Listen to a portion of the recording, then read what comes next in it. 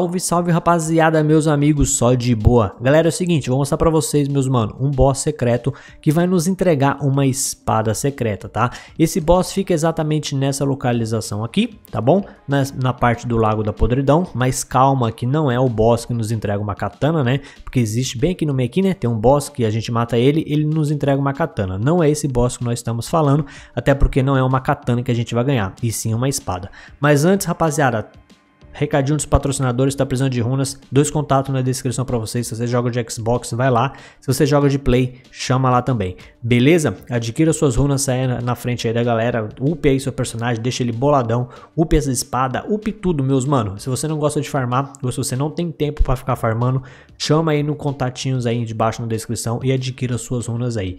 Beleza pura? Então vamos lá, vamos lá, vamos lá. Galera, seguinte, nós vamos receber esta espada aqui, ó, espada do Lorde de Alabastro, tá bom? A minha espada está no mais 9 e ela está ranqueando ali, ó, B para força, D para destreza e D para inteligência. Ela tem um poder de ataque físico e também um poder de ataque mágico, tá bom? Então como é que vocês vão fazer para ter um total dano dessa espada? A, sua, a força do seu personagem, a destreza do seu personagem e a inteligência do seu personagem precisa estar alta para você receber um maior dano com essa espada aqui, tá? Ela tem uma weapon art interessante, vou mostrar para vocês, mas antes só dar um, um detalhe maior aqui, né?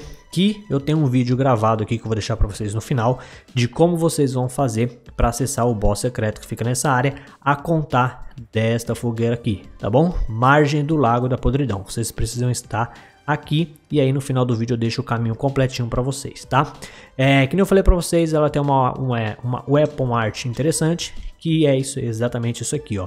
Enfia a arma no chão para criar um poço de gravidade, além de causar dano, esse ataque puxa os inimigos. Tem uma área de efeito maior do que Gravitas, tá?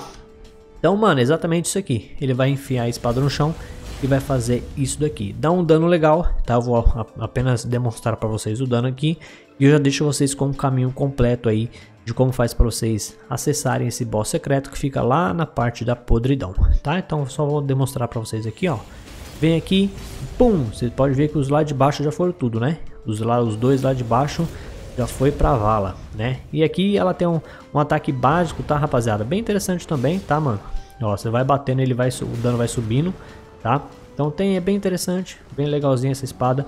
Gostei mais da weapon art dela, que eu achei uma weapon art maneira. E, mano, ela, ela vai bem, tá? Se você conseguir desencadear um negócio legal, ela vai bem. Tá? Já deu 1800 ali. Vou acabar morrendo aqui? Vou não, né? Ó, já foi. Tá bom? Então, rapaziada, é o seguinte. Aqui na parte do Lago da Podridão, o que acontece? É, se você já tem as construções levantadas aqui, é só você seguir o tutorial para o final do vídeo e vocês vão conseguir encontrar o boss secreto aí, tá? Se você não tem a construção levantada como eu não tinha, aí segue o passo a passo desde o início do vídeo, que lá eu, eu, eu levanto todas as construções e aí depois eu vou enfrento o boss, tá? Então é isso aí que eu tinha que dar recado para vocês, beleza? Lembrando que é contar dessa fogueira aqui. Então é isso, rapaziada. Fique com o vídeo aí agora. Tamo junto, é nóis. Valeu, falou, só bora.